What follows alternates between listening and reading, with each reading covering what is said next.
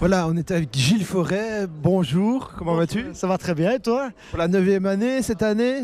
Eh oui, hein, une de plus. euh, et très heureux bah, d'être là pour euh, présenter, comme tu as pu le constater, ce, ce programme très diversifié, très dense et, et très varié surtout.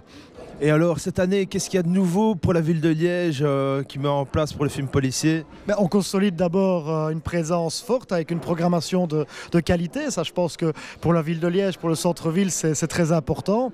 Et puis une nouvelle programmation avec des nouveaux films euh, qui seront présentés à, à la critique, la critique des Liégeois, des Liégeoises et aussi des professionnels qui vont venir juger du travail de, de toute l'équipe qui a travaillé pendant un an sur ce festival. Mais tu es aussi président donc, du cinéma liégeois et, et tu représentes. Pour la promotion du, du cinéma à Liège, donc l'APCL.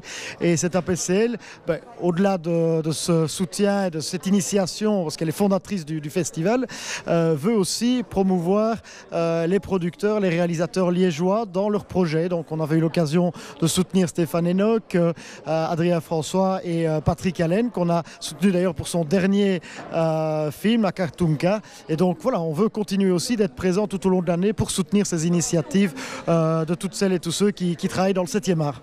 Merci. Ah, et merci à toi et garde bien ton, ton temps, le 23, 24, 25 et 26 avril parce que ça va être chaud.